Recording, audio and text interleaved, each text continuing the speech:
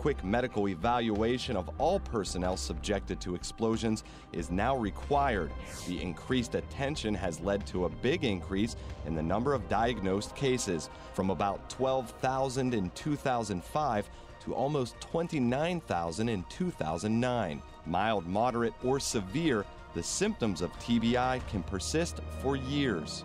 The main obstacles that I had to overcome, which are pretty much consistent with every other TBI patient that I've met, are some serious attention deficits and memory problems, both short term and long term. No recollection of much, not able to do anything on my own, and very bad balance.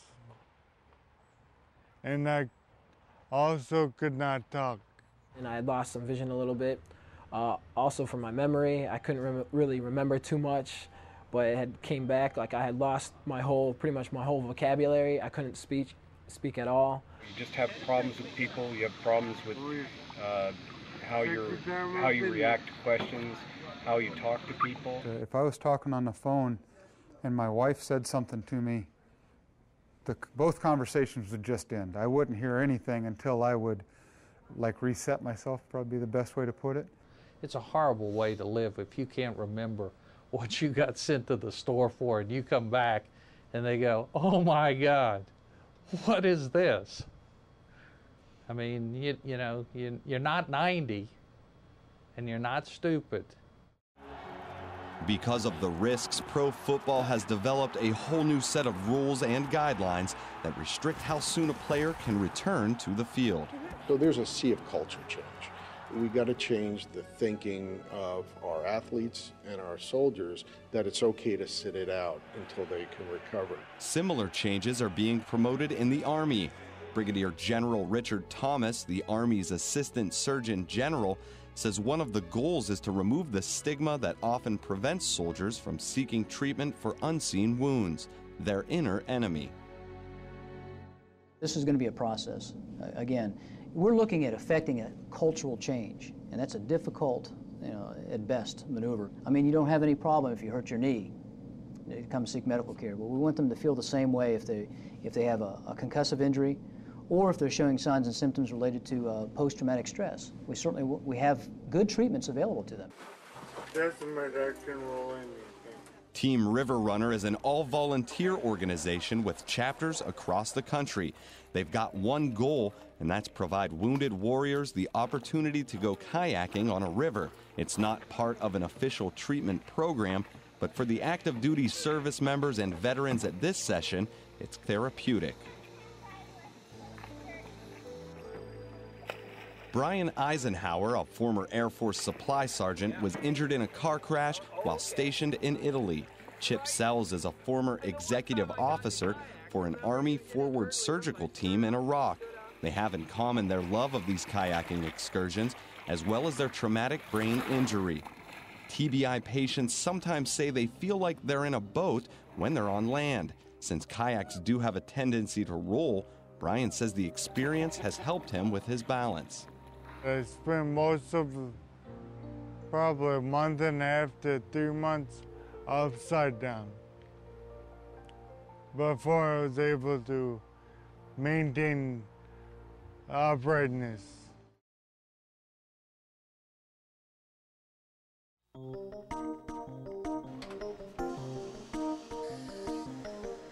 One place DARPA went for expertise was DEKA Research and Development in New Hampshire, a collection of 300 engineers, computer whizzes, toolmakers, skilled craftsmen. It's kind of a Willy Wonka chocolate factory for high technology. The load. A design team can generate plans for a never before seen device, then deliver the plans to the in house shop, where slabs of aluminum or titanium or other metal can soon be turned into pieces of a prototype. DEKA has developed all sorts of important medical technology, but they're best known to the general public as the creators of the Segway. Compensates the length and diameter. Dean Kamen is the founder, mastermind, and resident inventor behind the company. They had heard that I uh, collect quirky, smart, unusual people that look at the same problems everybody else looks at, but see them a little differently.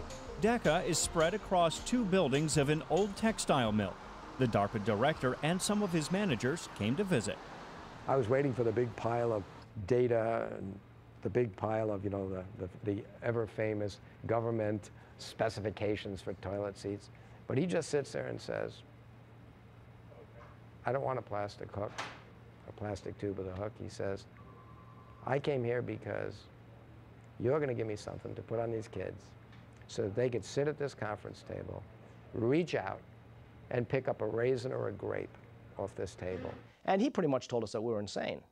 Uh, which, is, which, is, good because that's what DARPA does. We, we have to try to push the uh, boundaries of what is thought to be doable and not doable. Kamen gathered a small team to travel around the country to research the feasibility of the new technology. And I said, I still think you're nuts, but not as nuts as I thought. And I think we could probably build an arm that is not as good as the original equipment, but way, way, way better than the garbage you're giving people now. Kamen estimated it would take about three to five years to have a prototype. DARPA told him he had two. It's not one of these things where the government said, okay, fine, here's the money, and we walk away and hope that they succeeded. No, no. We had a team of experts from the government representatives that met with them on a weekly basis, every single week. What are you doing? How far are you going? Push, push, push. And Dean Kamen and his team, to give them credit, they responded well. They pushed, push, push. And the fruits of that is here. So what we did is we traded money for time. And then, of course, the wrist rotates.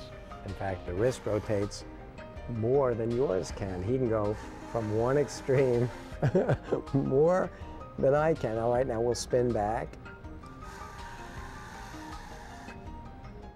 It's got nearly all the movement I need, and of course I have all this flexibility with the uh, um, arm. There's really three basic problems you're trying to solve. One is providing the functionality that the arm has, and, but that only does you so much good. You've got the arm that can do stuff, but now you've got to do two things. One is you've got to attach it well to the people who are going to wear it, and second is you've got to control it. And they feed information to this computer, which is wireless, sending signals up to these computers, which are hardwired into six computers here on the hand. The control and, issue uh, is as complex as the arm itself. Uh, the DEKA solution for now involves a series of gyroscopes and controls mounted on the feet. The arm is controlled by foot movement. I send a signal to the computer that I'm in the arm mode, so by lifting my toes up, this goes up. I use my feet to control my hands, and I think in the brain that the feet and the hands must be pretty well connected together because what I do with my feet just seems easy, intuitive, that it starts making my hand work the way I would like for it to. This computer, of course, will be made into a microchip, as will the other computer. Both Fred and Chuck Hildreth have mm-hmm. found the controls easy to master, oh, but there are other control solutions. The DEKA arm is really an advanced technological platform, but it's controlled using body motions, using a foot switch. So it is not exactly thinking about using your arm the way you and I would. You have to use surrogates. So you have to move your foot to make your hand open and close certain things. In the Windy City, where the professional football stadium is dedicated to the military, the world renowned Rehabilitation Institute of Chicago is birthplace of a technique called targeted muscle reinnervation, or TMR. Because of the rigidity of the base plastic. That's the brainchild of Dr. Todd Kuiken. He's using the nerves that once controlled a real arm to control a prosthetic. And even though the arm is lost, the nerves remain, okay? And they're like data channels.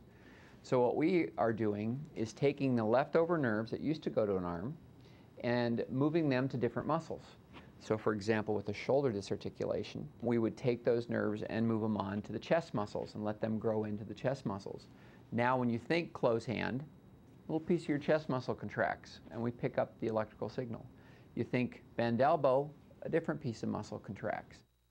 The first patient was Jesse Sullivan from Tennessee. Jesse lost both arms in an encounter with 7,200 volts of electricity.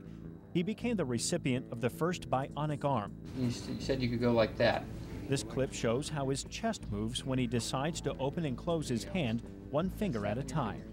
I don't like it. I wish I had my arms back, you know. But being as I have to wear prosthetics and given the opportunity to be a part of a project that's going to improve prosthetics from, now, from here on out, for the future is what an honor it is. The first time I noticed that I was in the shower and I felt warm water and I could feel the heat in my hand. And so I hurried up and I finished my shower and I called Dr. Peck and I was like, it's working, it's working, I feel my hand. Claudia Mitchell, a former Marine, lost her arm in a motorcycle accident. She's describing an unexpected benefit of the TMR program. The operation can restore more than just muscle control. So, one of the surprises we had when we did, first did the surgery is that we can also get the hand sensation nerves to grow into other skin. So, for example, we had a patient where we put the nerves onto his chest muscles. Now his hand sensation nerves have grown into his chest skin. So when you touch him on his chest, he feels his missing hand.